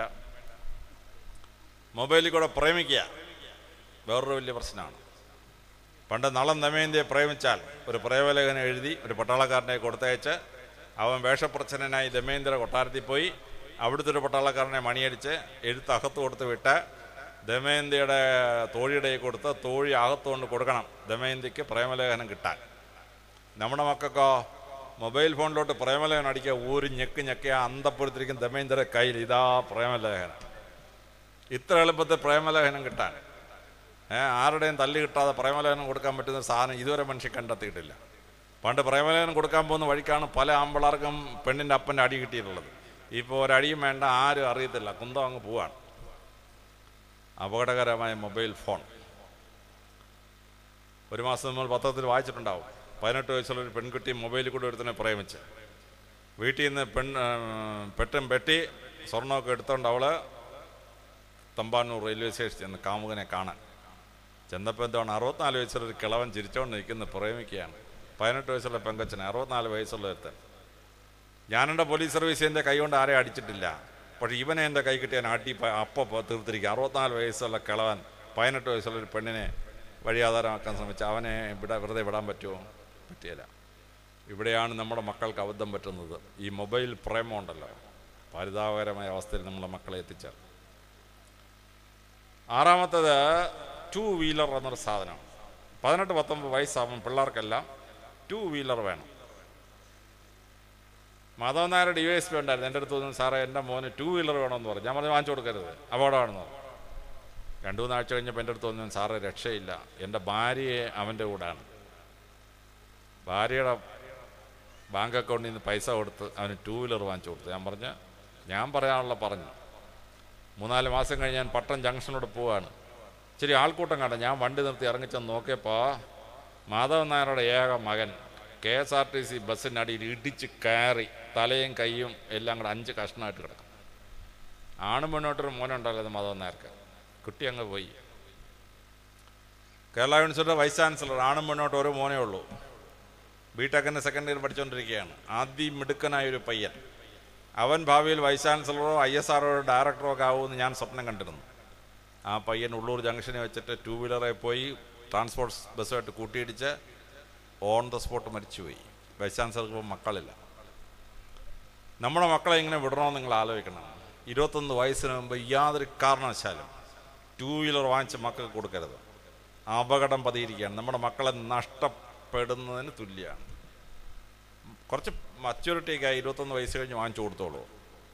ഡിഗ്രി ബിടെക് കഴിഞ്ഞ് വാങ്ങിച്ചു കൊടുത്തോളൂ. ബിടെക്കിന് പഠിച്ചുകൊണ്ടിരിക്കും വാങ്ങിച്ചു കൊടുക്കരുത്. തിരുവനന്തപുരം എഞ്ചിനീയറിംഗ് കോളേജിൽ കഴിഞ്ഞ് നാല് കൊല്ലത്തിനിടയ്ക്ക് മൂന്ന് പിള്ളേർ മരിച്ച്. ടൂ വീലർ ഓടിച്ചിട്ടാണ്. അതുകൊണ്ട് നാശത്തിലേക്ക് കുട്ടികൾ പോകുന്ന കാലഘട്ടമാണ് ആറ് വർഷം. തേർട്ടീൻ ടു നയന്റീൻ ആ വർഷം നമ്മുടെ മക്കൾ നശിക്കാതിരിക്കാൻ ഈ ആറ് ദുർഗുണങ്ങളിലേക്ക് കുട്ടി പോകാതിരിക്കാൻ മാതാപിതാക്കൾ പ്രത്യേകം ശ്രദ്ധിച്ചിരിക്കണം. അങ്ങനെ നമ്മളെ മക്കളെ വളർത്തിയെടുത്താൽ മാത്രമേ നമ്മുടെ മക്കൾക്ക് വലിയ രീതിയിൽ രക്ഷപ്പെടുത്താൻ പറ്റൂ. നമ്മളൊക്കെ പഠിക്കുന്ന കാലത്ത് നമ്മുടെ സാറുമാർ പഠിപ്പിച്ച മാത്രമേ നമുക്ക് അറിവുണ്ടായിരുന്നുള്ളൂ. ഇപ്പോഴോ അറിവിന്റെ മഹാസാഗരം പിള്ളേരുടെ മുമ്പിൽ കിടക്കുകയാണ്. കുട്ടികൾക്ക് ഏത് വിഷയം പഠിക്കണമെങ്കിലും സ്റ്റാൻഡേർഡ് ഫൈവ് തൊട്ട് M A M S C വരെ ഏതെങ്കിലും വിഷയം പ്രയാസമുള്ളതാണെങ്കിൽ നെറ്റിൽ കയറി സ്റ്റാൻഡേർഡ് ഫൈവ് അല്ലെങ്കിൽ സ്റ്റാൻഡേർഡ് സെവൻ ഫിസിക്സ് മെക്കാനിക്സ് അല്ലെങ്കിൽ ലൈറ്റ് എന്ന് അടിച്ചു നോക്കിയാൽ ഇന്ത്യയിലെ ഏറ്റവും ബെസ്റ്റ് ടീച്ചർ അത് ക്ലാസ് എടുക്കുന്നത് നമുക്ക് നമ്മുടെ വീട്ടിലിരുന്ന് കുട്ടിക്ക് ബെഡ്റൂമിലിരുന്ന് പഠിക്കാം സ്റ്റഡി റൂമിലിരുന്ന് പഠിക്കാം. മദ്രാസിലെ സെട്ടൺ ഗ്രൂപ്പിന്റെയോ അല്ലെങ്കിൽ മാർഗദർശൻ കാസറ്റ്സിന്റെ എഴുതിയാൽ കുട്ടിയുടെ കംപ്ലീറ്റ് സിലബസ് രണ്ട് സി ഡി ആയിട്ട് കൈ കിട്ടും. അഞ്ഞൂറ് രൂപ ഒരു സി ഡി ആയിരം രൂപ മുടക്കിയാൽ മതി. കംപ്ലീറ്റ് സിലബസ് കുട്ടിക്ക് വീട്ടിലിരുന്ന് സുഖമായിട്ട് കാണാം. യു ജി സിയുടെ കൺട്രി വൈഡ് ക്ലാസ് റൂം ഉണ്ട് യൂണിവേഴ്സിറ്റി ഗ്രാൻസ് കമ്മീഷന്റെ അല്ലെങ്കിൽ ഹൈദരാബാദിലെ ഇ എം ആർ സി ഹൈദരാബാദുണ്ട് ഇലക്ട്രോണിക് മീഡിയ റിസർച്ച് സെന്റർ അവരുടെ കംപ്ലീറ്റ് സി ഡി വാങ്ങിച്ചാണ്ടല്ലോ. കുട്ടിക്ക് നമ്മുടെ ബെഡ്റൂമിലിരുന്ന് കംപ്ലീറ്റ് കാണാം. അല്ലെങ്കിൽ വിക്ടർ ചാനലിനകത്തൊന്ന് കണക്ട് ചെയ്താൽ നമ്മുടെ കുട്ടിക്ക് പഠിക്കുന്ന സിലബസ് മുഴുവൻ സ്കൂളിലോ കോളേജിലോ സാറന്മാർ മാത്രമല്ല ഇന്ത്യയിലെ ഏറ്റവും ബെസ്റ്റ് ടീച്ചർ ക്ലാസ് എടുക്കുന്ന വീട്ടിൽ നിന്ന് കാണാം. കുട്ടിക്ക് മത്സര പരീക്ഷ എഴുതണമോ അശോകിന്റെ ഉണ്ട് ബ്രില്യൻ ട്യൂട്ടോറിയൽസിനെ ഉണ്ട് എ എൽ എസ് ഡൽഹി ഉണ്ട് ഓൾട്ടർനേറ്റ് ലേണിംഗ് സിസ്റ്റം ഉണ്ട്. പിന്നെ വളരെ രസകരമായി ടാറ്റ മഗ്രഹുൽ കമ്പനിയുടെ ക്ലാസ്സസ് അവൈലബിൾ ആണ്. ടി വിയിലിട്ട് കാണാം അല്ലെങ്കിൽ നമ്മുടെ കമ്പ്യൂട്ടറിലിട്ട് കാണാം. വീട്ടിലിരുന്ന് കംപ്ലീറ്റ് സിലബസ് കണ്ട് പഠിക്കാൻ പറ്റും. കഴിഞ്ഞ കൊല്ലത്തെ ക്വസ്റ്റ്യൻ പേപ്പർ അതിന് ആൻസറും കാണണം. നേരെ ഓർഡർ ചെയ്താൽ മതി. നമ്മുടെ കമ്പ്യൂട്ടറിലോട്ട് വരും. സുഖമായിട്ട് അത് കാണാം. പണ്ട് പുസ്തകങ്ങൾ വായിക്കാൻ. ഞങ്ങൾ പ്രൈവറ്റ് ബസ്സിൽ കയറി ലൈബ്രറിയിൽ ചെന്ന് പുസ്തകം എടുത്തുകൊണ്ട് പുസ്തകം തപ്പിയെടുക്കാൻ കുറേ പാട്. അത് കഴിഞ്ഞ് അത് കൊണ്ടുവന്ന് ബസ് സ്റ്റാൻഡിൽ നിന്ന് അരമണിക്കൂർ ബസ് കാത്തു നിന്ന് അവിടെ നിന്ന് ബസ്സിൽ കയറി വീട്ടിലിറങ്ങി അല്ലെങ്കിൽ കോളേജിലെ ഹോസ്റ്റലിൽ ചെന്നിരുന്ന് വായിക്കുകയാണ്. മണിക്കൂറുകൾ എത്ര പോയി? നമ്മുടെ മക്കൾക്കോ? അയ്യായിരം രൂപയുടെ ഒരു കിൻഡിൽ വാങ്ങിക്കുക. ഏത് പുസ്തകം വേണോ? Leo Tolstoy war and peace chapter two page two എന്ന് അടിച്ചാൽ ആ പേജ് ടു അപ്പ സ്ക്രീനിൽ വരും. പ്രൈവറ്റ് ബസ്സേ പോകണ്ട ലൈബ്രറി ചെന്ന പുസ്തകം ഷെൽഫിൽ തപ്പണ്ട. ബസ് സ്റ്റാൻഡിൽ നിന്ന് ബസ് കാത്ത് നിൽക്കണ്ട വരണ്ട. ഒറ്റയടിയ ഇനി അത് വായിക്കാൻ തുടങ്ങുമ്പോൾ വായിക്കാനൊരു രസമില്ല. ശരി സായിപ്പെ വായിക്കടാ എന്ന് പറഞ്ഞാൽ സായിപ്പ് ഉടനെ അത് പുസ്തകം വായിച്ച് കേൾപ്പിക്കും നമ്മളെ. നമ്മൾ കണ്ണടച്ച് ഇങ്ങനെ ഇരുന്ന് ഇരുന്നേച്ചാൽ മതി. പുസ്തകം വായന ഇങ്ങനെ നടന്നുകൊണ്ടിരിക്കും. ഇനി ആൺ ശബ്ദം അത്ര രസമല്ല. പെൺ ശബ്ദം വേണം. വായിക്കടി മദാമേ എന്ന് പറഞ്ഞാൽ മദാമ ഇംഗ്ലണ്ടിൽ നിന്ന് അങ്ങോട്ട് വായിച്ചു തുടങ്ങും. ഭംഗിയായിട്ട് പുസ്തകം നമുക്ക് വായിച്ച് മനസ്സിലാക്കാൻ പറ്റും. ഇനി മദാമയെ കൊണ്ടത് വായിച്ചാൽ ഒരു ഗുണമുണ്ട്. ഇംഗ്ലീഷ് എങ്ങനെയാണ് പറയേണ്ടതെന്ന് നമ്മുടെ മക്കൾ പഠിക്കും. ആറാം ക്ലാസ്സിൽ പഠിക്കുമ്പോൾ എന്റെ സാറ് വന്ന് എന്നെ ഒരു വാക്ക് പഠിപ്പിച്ച് കിഡ്നാപ്പ് എന്നൊരു വാക്ക് പഠിപ്പിച്ചു. ഒമ്പതാം ക്ലാസ് ആയപ്പോഴേ എനിക്ക് മനസ്സിലായത് കിഡ്നാപ്പിനെയാണ് ഇയാൾ ഈ കിഡ്നാപ്പ് കിഡ്നാപ്പ് തന്നെ പഠിപ്പിച്ചതെന്ന്. അദ്ദേഹം പഴയ ഏഴാം ക്ലാസ്സുകാരനായ സാറായിരുന്നു. ഇപ്പോൾ ബി എ ബി എഡുകാരാണ് പിള്ളേർ സാറന്മാരൊക്കെ. ഇങ്ങനെ തെറ്റായി നമ്മുടെ മക്കൾ എന്തെങ്കിലും പ്രൊണൗൺസിയേഷൻ പഠിച്ചിട്ടുണ്ടെങ്കിൽ മദാമ ഇതങ്ങോട്ട് വായിച്ചു കഴിഞ്ഞാൽ കംപ്ലീറ്റ് പ്രൊണൗൺസിയേഷൻ നമുക്ക് മനസ്സിലാവും. ഇനി ഏതെങ്കിലും വിഷയം പഠിക്കാൻ ബുദ്ധിമുട്ടാണ്. ചില കുട്ടികൾക്ക് കണക്ക് ബുദ്ധിമുട്ടാണ്. ചില കുട്ടികൾക്ക് ഹിസ്റ്ററി പഠിക്കാൻ ബുദ്ധിമുട്ടാണ്. ചിലർക്ക് ഫിസിക്സ് പഠിക്കാൻ ബുദ്ധിമുട്ടാണ്. അങ്ങനെയുണ്ടെങ്കിൽ ബൈജൂസ് ലേണിംഗ് ആപ്പിനോട് പഠിക്കാനുള്ള എളുപ്പമാർഗങ്ങൾ ചോദിച്ചാൽ മതി. ഫിസിക്സ് പഠിക്കാനുള്ള എളുപ്പമാർഗം കണക്ക് പഠിക്കാനുള്ള എളുപ്പമാർഗം കമ്പ്യൂട്ടർ ഉടനെ ക്ലാസ് അങ്ങ് തുടങ്ങും നമുക്ക്. ഓ നമുക്ക് കട്ടിയുള്ള വിഷയം ഈസി ആയിട്ട് നമ്മുടെ മക്കൾക്ക് പഠിക്കാൻ. ബൈജൂസ് ലേണിംഗ് ആപ്പ് ഇരുപത്തിമൂന്ന് വയസ്സുള്ളൊരു പയ്യനാണ് ഈ ബൈജൂസ് ലേണിംഗ് ആപ്പ് ഇരുപത്തിമൂന്ന് വയസ്സുള്ളൊരു പയ്യൻ. അവന്റെ ഇപ്പോഴത്തെ ആസ്തി ആയിരത്തി അറുന്നൂറ് കോടി രൂപയാണ്. ഏത് കുട്ടിക്ക് ഏത് വിഷയം പഠിക്കാൻ കട്ടിയാണെങ്കിൽ പറഞ്ഞാൽ മതി. അപ്പം അതിന്റെ easy study method Byju's learning ആപ്പിൽ നമുക്ക് കിട്ടും. പണ്ട് ഞാൻ ഒരു പുസ്തകം ഒരു ദിവസം വായിക്കണമെന്ന് വാശിയുള്ളവനായിരുന്നു. ഒരു ദിവസം ഒരു പുസ്തകം തീർന്നില്ലെങ്കിൽ ആ ബാക്കിയുള്ള ഭാഗവും വേറൊരു പുസ്തകം പിറ്റേ ദിവസം വായിക്കും. ചിലപ്പോൾ വെള്ളിയാഴ്ച വൈകിട്ടാകുമ്പോഴത്തേന് അഞ്ച് പുസ്തകത്തിന് വരെ നാല് പുസ്തകം തീരുള്ളൂ. ഞാൻ ശനിയും ഞായറും കൊണ്ട് ആ കുടിശ്ശിക തീർക്കും. ഒരാണ്ട് തീരുമ്പോൾ മുന്നൂറ്റി അറുപത്തഞ്ച് പുസ്തകം തീർത്തിരിക്കും. ഇപ്പോഴോ? നമ്മുടെ മക്കൾക്ക് ഇതിന്റെ ഒന്നും ആവശ്യമില്ല. പുസ്തകത്തിന്റെ പേരടിച്ച് blink B L I N K എന്ന് അടിച്ചാൽ ആ പുസ്തകം മുഴുവൻ പണ്ഡിതനായ ഒരു മനുഷ്യനിരുന്ന് പഠിച്ച് അഞ്ച് പേജിൽ എന്റെ സമ്മറി രണ്ട് സെക്കൻഡ് കഴിയുമ്പോൾ സ്ക്രീനിൽ വരും. വിശ്വപ്രസിദ്ധമായ എല്ലാ ക്ലാസ്സിക്കും ഓൾറെഡി ചെയ്ത് വെച്ചിരിക്കുകയാണ്. യുദ്ധവും സമാധാനം വായിക്കണമെന്ന് പറഞ്ഞാൽ ഞാൻ ലൈബ്രറി എടുത്തുകൊണ്ട് മൂവായിരത്തഞ്ഞൂറ് പേജുള്ള ഒരു പുസ്തകം ഇരുപത്തൊന്ന് ദിവസം എടുത്ത് വായിച്ചു തീർക്കാൻ. ഇപ്പോഴോ Leo Tolstoy and peace blink എന്നൊരു അടിയടിച്ചാൽ അഞ്ച് പേജിൽ ആ നോവലിന്റെ സമ്മറി ഇഞ്ഞ് വരും. കവിതയൊന്നും ആസ്വദിക്കാൻ പറ്റിയില്ല. പക്ഷെ പുസ്തകത്തിന് സമ്മറി എപ്പോഴേ കൈ വരും? ഇപ്പം ഞാൻ ഒരു ദിവസം വായിക്കുന്നത് പതിനഞ്ച് മുതൽ ഇരുപത് വരെ പുസ്തകമാണ്. അത്യാവശ്യം വേണ്ട പുസ്തകത്തിനെല്ലാം പേരടിച്ച് ബ്ലിങ് ബ്ലിങ് എന്ന് അടിച്ചുകൊണ്ടിരിക്കും രാത്രി ഒരു പതിനൊന്ന് മണിയാകുമ്പോഴത്തേനും ഒരു പതിനഞ്ച് പുസ്തകം വായിച്ചു കഴിയും. വിജ്ഞാനത്തിന് മഹാസാഗരം നമ്മുടെ മക്കളുടെ മുമ്പിൽ കിട്ടിയിരിക്കുകയാണ്. നമ്മുടെ മക്കൾ മറ്റുള്ള മക്കളോട് മത്സരിക്കുകയാണ്. മറ്റുള്ള മക്കളൊക്കെ ഇതെല്ലാം പഠിച്ചിട്ടാണ് പരീക്ഷയ്ക്ക് വരുന്നത്. നമ്മുടെ മക്കളൊന്നും പഠിക്കാതെ പരീക്ഷയ്ക്ക് എന്നാൽ അവരുമായി മത്സരിക്കുമ്പോൾ നമ്മുടെ മക്കൾ പിന്നോട്ട് പോകും. അതുകൊണ്ട് പത്താം ക്ലാസ്സിന് ശേഷം എന്ത്? പന്ത്രണ്ടാം ക്ലാസ്സിന് ശേഷം എന്ത്? അത് മനസ്സിലാക്കാൻ കഴിഞ്ഞിരിക്കണം. മാതൃഭൂമി പത്രം എല്ലാ വർഷവും ഉപരിപഠനം എന്നൊരു പുസ്തകം പബ്ലിഷ് ചെയ്യും. നമ്മുടെ മക്കൾക്ക് പത്താം ക്ലാസ് കഴിഞ്ഞാൽ വഴിതിരിഞ്ഞു പോകാനുള്ള ഒരു നൂ നൂറ്റി ഇരുപത് മെത്തേഡ് എന്തൊക്കെയാണ്? മലയാള മനോരമയുടെ ഡയറക്ടർ ഓഫ് ഹയർ എഡ്യൂക്കേഷൻ നമ്മുടെ മക്കൾക്ക് പത്താം ക്ലാസ് കഴിഞ്ഞാൽ പന്ത്രണ്ടാം ക്ലാസ് കഴിഞ്ഞാൽ വഴിതിരിയാൻ പറ്റുന്ന നൂറ്റി നാൽപ്പത് ജോലികൾ എന്തൊക്കെയാണ്? ശമ്പളം കൂടുതലും ജോലി ഏതാണ്? ഷുഗർ ജോലി കിട്ടുന്ന ജോലി എന്താണ്? കംപ്ലീറ്റ് ഉണ്ട് മാധ്യമത്തിന്റെ വിദ്യ. ഇന്ത്യ ഗവൺമെന്റിന്റെ national education research centre publish ചെയ്യുന്ന director of careers and scholarships. പണ്ട് നമുക്കൊക്കെ അപ്പന്റെ അമ്മയുടെ പൈസ കൊണ്ട് പഠിക്കാൻ പറ്റൂ. നമ്മുടെ മക്കൾക്ക് അതിന്റെ ഒന്നും ആവശ്യമില്ല. നൂറ്റി മുപ്പത്തഞ്ച് സ്കോളർഷിപ്പാണ്. നമ്മുടെ മക്കൾക്ക് അത് എഴുതിയാൽ നമ്മുടെ കയ്യിൽ നിന്ന് അഞ്ച് പൈസ അല്ലാതെ ആ മക്കൾക്ക് സ്വയം പഠിക്കാൻ പറ്റും. ഓക്സ്ഫോർഡ് യൂണിവേഴ്സിറ്റി വെച്ചാൽ നമ്മുടെ കുട്ടികളെ വിട്ട് പഠിപ്പിക്കണമെങ്കിൽ ഇരുപത്തഞ്ച് ലക്ഷം രൂപ മുടക്കണം മിനിമം. നമ്മുടെ കുട്ടി സ്കോളർഷിപ്പ് പരീക്ഷ പാസ്സായാൽ ഫ്രീ കംപ്ലീറ്റ്ലി ഫ്രീ ആണ്. ഹാർവാർഡിൽ പോയി പഠിക്കണോ? Completely free London school of എക്കണോമിക്സിൽ പോയി ഒരു പി ജിയിൽ എടുക്കണമെങ്കിൽ മുപ്പത്തഞ്ച് ലക്ഷം രൂപ പോകും മിനിമം പക്ഷേ ഡെസ്റ്റിനേഷൻ എൽ എസ് സിയുടെ പരീക്ഷ പാസ്സായാൽ കംപ്ലീറ്റ്ലി ഫ്രീ കുട്ടി ലണ്ടൻ സ്കൂൾ ഓഫ് എക്കണോമിക്സിൽ പോയി പി എച്ച് ഡി വരും. അപ്പോൾ കുട്ടിയെ സ്കോളർഷിപ്പ് പഠിപ്പിക്കണം കുട്ടിയെ സ്കോളർഷിപ്പ് പാസ്സാവണം. കുട്ടി സ്വന്തം പൈസ കൊണ്ട് പഠിക്കാൻ കുട്ടിയെ പഠിപ്പിക്കണം. അങ്ങനെ ലോകത്തിന്റെ അനന്ത വിഹായസുകളിൽ വലിയ നിലകളിൽ എത്തിച്ചേരാൻ നമുക്ക് കഴിഞ്ഞിരിക്കണം. അതുകൊണ്ട് വേദപുസ്തകത്തിന്റെ താളുകളിൽ ആശ്രയിച്ച് ദൈവാശ്രയത്തോടുകൂടി മക്കൾ വളരാനും ആ വളർച്ചയിലൂടെ ജീവിതത്തിൽ വലിയ നിലകളിലെത്തി. അവരെപ്പറ്റി ഈ നാട് അഭിമാനം കൊള്ളുമ്പോൾ അതിൽ നിന്ന് സന്തോഷം ലഭിക്കാനും ഈ കൺവെൻഷന് വന്നിരിക്കുന്ന എല്ലാ മാതാപിതാക്കൾക്കും ഈശ്വരൻ അനുഗ്രഹം തരട്ടെ എന്ന് ഞാൻ പ്രാർത്ഥിക്കുന്നു. ഇവിടെ ഇരിക്കുന്ന നമ്മുടെ മക്കൾ പഠിച്ച് ലോകത്തിലെ ഏത് മത്സര പരീക്ഷയും പാസ്സായി. ലോകത്തെ നയിക്കുന്ന നായകന്മാരായി തീരാൻ ഈശ്വരൻ അനുഗ്രഹിക്കട്ടെ എന്ന് പ്രാർത്ഥിച്ചുകൊണ്ട് എന്റെ എളിയ വാക്കുകൾ ഞാൻ നിർത്തുന്നു.